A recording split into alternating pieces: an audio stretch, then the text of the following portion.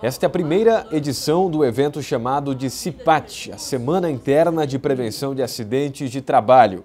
Todas as atividades são voltadas aos servidores da Câmara.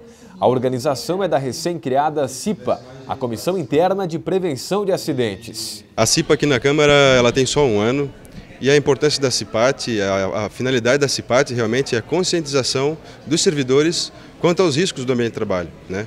Aqui na Câmara nós não temos riscos físicos, como na construção civil, por exemplo, mas temos riscos psicológicos, é, falta de motivação, é, coisas desse, nesse sentido, na verdade. Né? Como é a primeira CIPAT, é, é, um grande desafio até para que cada um dos servidores aqui entenda a importância dela e eu acho que a, o, o Jean e a Isadora estão fazendo um ótimo trabalho de mobilização e de conscientização para que cada um tenha a visão da importância de participar da CIPAT. A semana foi aberta nesta segunda-feira com as palestras da Cruz Azul sobre as consequências das drogas no ambiente de trabalho e do SBLU sobre questões previdenciárias, afastamentos, perícia e legislação.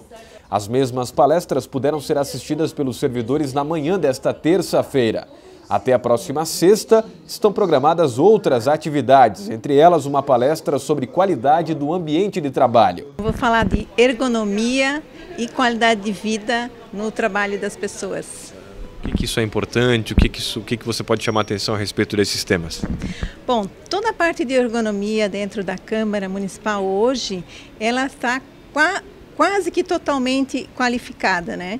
Mas nós temos que trabalhar também as posturas, como as pessoas hoje se comportam diante de uma mesa, na frente de um computador, os alongamentos que é necessários estar fazendo depois de uma hora sentados, que hoje nós temos muitos, muitas pessoas têm problemas de coluna, devidamente estar muito sentados, não fazer um alongamento, né? Teremos palestra com a Rede Feminina de Combate ao Câncer, vai vir falar sobre a saúde da mulher, sobre a saúde do homem também, prevenções, né? Higiene pessoal, coisas simples do dia a dia que às vezes a gente não se dá conta, né? Teremos na sexta-feira vai ser muito interessante que vai ser um treinamento com o Corpo de Bombeiros. Esse vai acontecer no pátio do nosso estacionamento e a gente espera a participação de todos. Os servidores da Câmara aprovaram a realização da semana de palestras sobre prevenção de acidentes de trabalho e esperam aprender e conhecer mais sobre o tema. É importante a gente assistir justamente para poder saber como agir, né? Na hora. Algumas situações no dia a dia no trabalho podem passar despercebidas, né?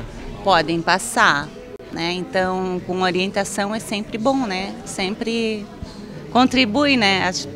É, em todos os sentidos, assim, né? Eu acho que a iniciativa é bem válida, tem várias questões no nosso dia a dia, questões ergonômicas, do, do sentado, se portar na, muito tempo à frente do computador também, que eu acho que, que a gente tem que, que ter um cuidado, até para depois não, não ter o, não sofrer mais tarde, né? É de extrema importância para toda a população estar sabendo, né, do que, que isso pode gerar, né, no futuro. Não, não, eu não tive nenhuma experiência disso, mas a gente sabe que os amigos de amigos sempre obtiveram isso.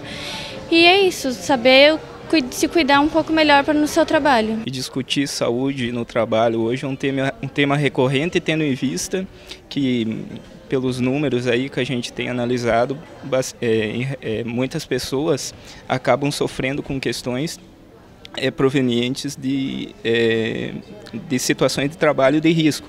Eu acho que esta é uma iniciativa bacana, positiva e vem no sentido de informar e acredito que vai ser bem de grande valia para todos os funcionários aqui da casa. Na verdade, os nossos ambientes estão extremamente positivos, mas claro, cada vez mais, quando nós temos o contato e a presença da CIPA, nós nos deparamos com uma série de ações que nós podemos melhorar, podemos avançar e podemos implementar novas atividades, novas ações na proteção e no cuidado dos nossos servidores no dia a dia do uso do espaço da Câmara de Vereadores.